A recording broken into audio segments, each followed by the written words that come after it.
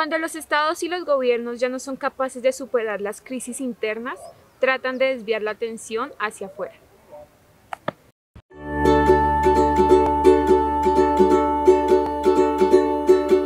Hola, soy Valeria y en este video vamos a hablar de María Antonieta. Yo sigo leyendo, yo sigo resumiendo los libros que me dieron de cumpleaños y lo seguiré haciendo porque me encanta. Este libro nos habla toda la historia de María Antonieta, pero, pero, pero, también vi la película. Y siento que hay muchos mitos, muchas cosas sobre María Antonieta. Siento que tantas personas comentan, dicen, han sacado libros, películas, versiones de ella y nadie sabe en realidad lo que pasó sino ella y los que estaban alrededor.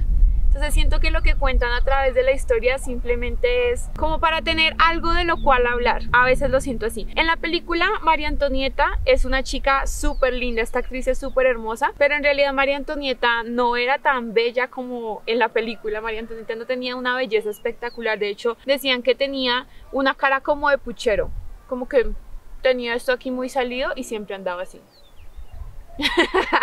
Bórrense la imagen de una María Antonieta hermosa porque no, no era hermosa, pero sí tenía muchos vestidos, ropa, accesorios. Ella fue un icono de la moda. Y es que solo podía usar los vestidos una vez, solo una vez, y se cambiaba tres veces al día.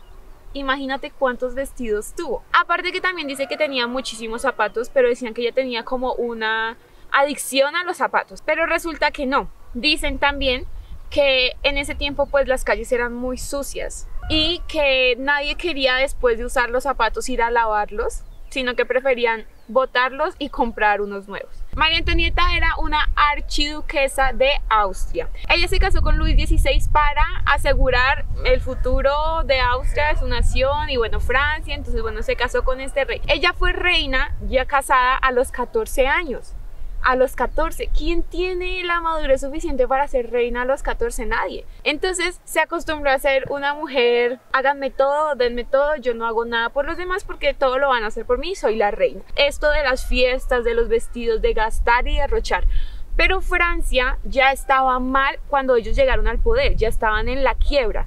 Solo que pues ella lo propició. Cuando estalló la revolución dijeron, ah, por culpa de María Antonieta, por culpa de la jerarquía, por culpa de estos gobernantes que nos han hecho tanto mal, sobre todo María Antonieta, ella fue como el chivo expiatorio, la verdad. Ya venía desde antes la cosa muy mal, pero la culparon a ella. Es por esto que después de tener su vida de lujos y sus vestidos y ser incluso ya puso en moda los peinados ostentosos, o sea, unos peinados grandísimos y llenos de cosas que tú dices, amiga, como no te dolía la cabeza.